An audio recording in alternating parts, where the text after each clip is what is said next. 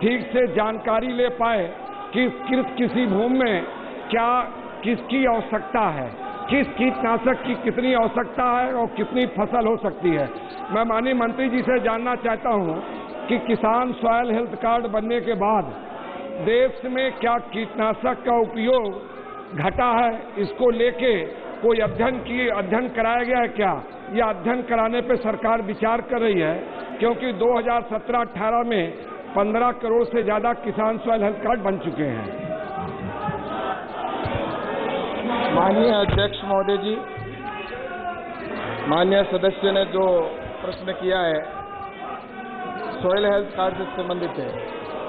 और प्रधानमंत्री जी, माननीय नरेंद्र मोदी जी ने आज़ादी के बाद पहली बार किसानों के लिए सॉयल हेल्थ कार्ड जैसी योजना के माध्यम से किसानों को जागरूक करने के लिए और उनको कार्ड तक पहुँचाने का काम किया। और उसके लिए लगभग जो कार्ड सॉयल हेल्थ कार्ड है, वो दो फ़ेज़ के अंदर किसानों तक पहुँचे। और पहले फ़ेज़ में लगभग ग्यारह ग्यारह करोड़ और दूसरे फ़ेज़ के अंदर लगभग जी के वासन हाँ, इधर दीपक प्रकाश अध्यक्ष महोदय वैज्ञानिक तथा औद्योगिक अनुसंधान परिषद सी एस आई आर के वार्षिक प्रतिवेदनों और लेखा परिचित लेखाओं की सभा report of the standing committee combined work of member state of affairs report of the department parliamentary standing committee and transport tourism and culture Shri T G Venkatesh please I rise to present the 295 report on potential and transport, tourism spots in the country, connectivity and outreach, both Hindi and English. Statement of the, Of the standing make it right on the table. Venkatesh. Statement of the department, read parliamentary standing committee on the external affairs. Sri K.J. Alphonse.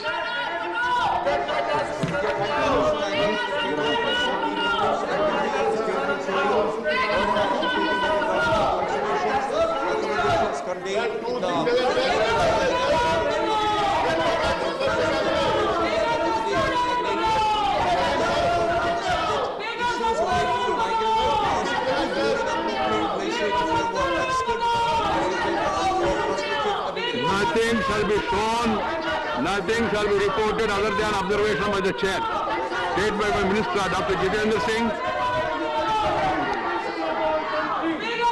Chairman sir, with your kind permission, I rise to lay the statement regarding the status of implementation of recommendations contained in the 333rd report of the Department related Cabinet Standing Committee on Science and Technology, Environment, Forests and Climate on detailed demands for March 2020-21 pertaining to the Ministry of Earth Sciences Mask, where is your mask? You are harming yourself and harming others. Dated 24th of September 2004 under Rule 66 of the Rules of Procedure and Conduct of Business in the Council of States. The status as per the Zero. lecture which is laid on the table of the House. Nirava, Sushil Kumar Modi.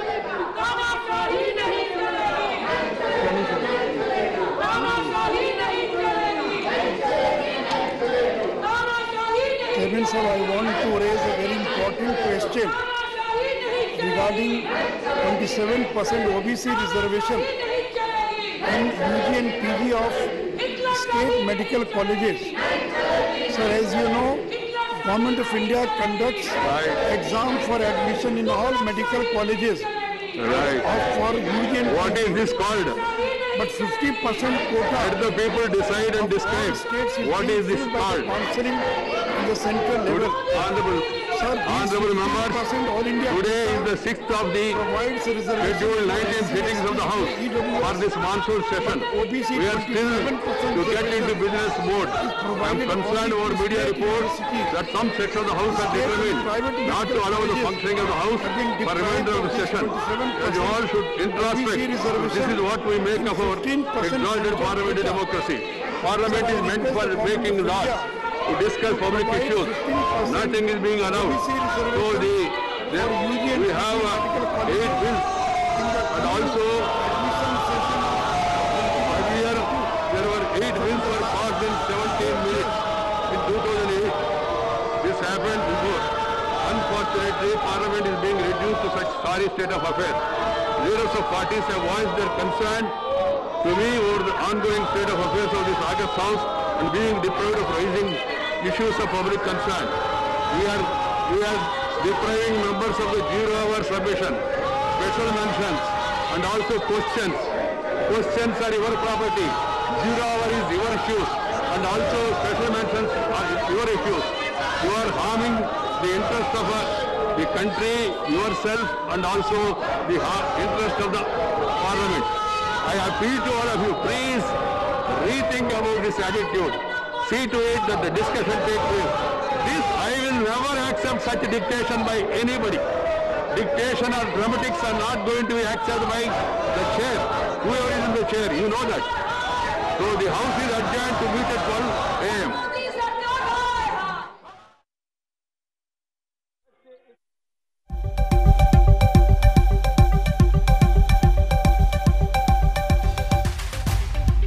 की कार्रवाई शुरू होते ही हंगामा वहाँ पर शुरू हो गया और बार बार सभापति ये कहते रह गए कि आप शांत रहिए और आपको अपनी मर्यादा समझनी चाहिए, जिस, इस जगह की गंभीरता को समझना चाहिए और जिस वजह से यहाँ पर तमाम लोग आए हैं। पब्लिक इंटरेस्ट में कम से कम इस तरह से शोर शराबा हंगामा नहीं करना चाहिए। उसके बावजूद राज्यसभा में सांसद जो है लगातार वहाँ पर हंगामा करते रहे, जिसके बाद राज्यसभा को 12 बजे तक के लिए स्थगित कर दिया गया। राज्यसभा की कार्रवाई 12 बजे तक के लिए स्थगित कर दी गई। तो इस वक्त की बड़ी खबर आपको हम बता दें, आज भी लोकसभा और राज्यसभा दोनों ही जगह कार्रवाई जैसे ही शुरू हुई।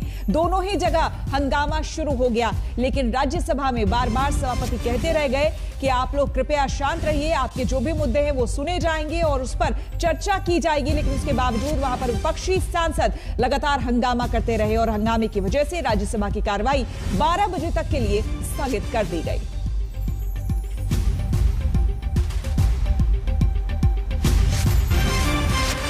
चिंता का सबब लगातार सरकार के लिए भी बना हुआ है। यही वजह है कि आज बैठक बुलाई गई थी। सदन की कार्रवाई शुरू होने से पहले जिसमें प्रधानमंत्री ने मुखर तौर पर ये कहा है कि लोगों को इस बारे में जानकारी दी जानी चाहिए कि आखिरकार संसद क्यों नहीं चल पा रही है। क्यों लगातार विपक्ष की हंगामे की वजह से सुचारू रूप से संसद नहीं चल रही है? हिमांशु मेरे सहयोगी इस वक्त तमाम जानकारी के साथ हमारे साथ जुड़ गए। देखिए हिमांशु, जिस बात की उम्मीद थी वही हुआ आज भी। आज भी हंगामे की बेट चढ़ गए संसद के दोनों सदन। प्लाकार्ड लेकर वहाँ पर विपक्ष पहुँच रहा है। कब एक ऐसी बहस हो पाएगी संसद में, जिसमें तमाम जो ज्वलनशील मुद्दे हैं, महँगाई से लेकर जो स्नूपिंग कांड है, उस पर चर्चा हो पाएगी। ये सब कुछ तो अब साइडलाइन हो चुका है। देखिए, बिल्कुल विपक्ष चाहता है कि उन सारे मुद्दों पे चर्चा हो, जो चर्चा वो करना चाहता है, चाहे वो स्नूपिंग का मामला हो, बढ़ती महँगाई हो या किसानों का मुद्दा हो, लेकिन सरकार की तरफ़ से ये पूरी तरीके से आश्वासन दिया जा रहा है कि आइए हमसे बात कीजिए, हम हर विषय पर, हर मुद्दे पर चर्चा के लिए तैयार है। कल भी जो है राज्यसभा के अंदर leader of house, Piyush Goyal ने ये बात कही थी। उन्होंने कहा था, मैंने शुक्रवार को जो है सभी नेताओं की बैठक बुलाई थी चाय पर चर्चा के लिए कि आइए हम लोग बैठकर चर्चा करते हैं। पहले किन मुद्दों को लिया जाएगा? लेकिन विपक्ष की तरफ़ से कोई भी नेता उस बैठक में नहीं पहुँचा था। उन्होंने कहा, मैं आज भी तैयार हूँ चर्चा करने के लिए। किन मुद्दों के ऊपर चर्चा की जानी चाहिए? लेकिन विपक्ष पूरी तरीके से अड़ा हुआ है और जिस तरीके का रुख अख्तियार किया है, उससे साफ़ ज़ाहिर है कि वो नहीं चाहता है कि संसद का मानसून सत्र जो है, वो चले। कल हमने देखा था, लोकसभा के अंदर जो है, हो, हंगामे के अंदर जो है, सरकार ने दो बिलों को पास कर दिया था। अब देखना यह है क्योंकि सरकार ने सरकार जो है छह ऑर्डिनेंस सरकार के जो है पेंडिंग है।